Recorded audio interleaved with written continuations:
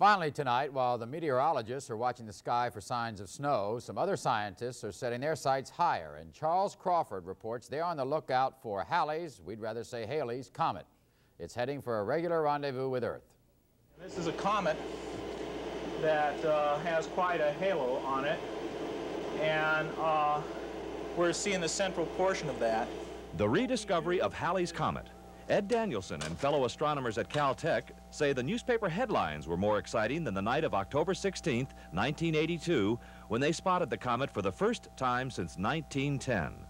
The end of the search for the celestial visitor came at the Palomar Observatory in California. Using the 200-inch mirror telescope, a highly sensitive electronic eye recorded light 50 million times fainter than the human eye can see. The million dollar charge-coupled device can store 640,000 bits of information and was able to detect Halley's Comet when it was a billion miles from Earth. Halley is now just beyond Jupiter, on its way around the Sun, and should be visible in March of 1986.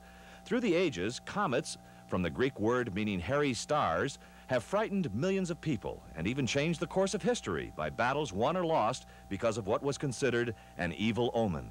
Even today, there remains some uncertainty over the possibility of a close encounter with Halley's Comet. What happens when a comet approaches the sun, it builds a cometary tail.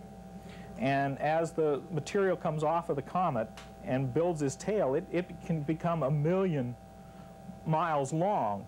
And then that allows you to have, have a bigger target. And so you, the chances of going through the tail are, are very high. And, uh, in, the, in, in, the, in, the, in the past, it, it has done that, and that's what scared them and so forth. Unfortunately, says Danielson, when Halley is closest to the Earth, it will be on the other side of the sun and not visible. Nevertheless, scientists are hopeful of learning a good deal more about an old visitor to our solar system. Charles Crawford, CNN, Pasadena. I still say Halley's.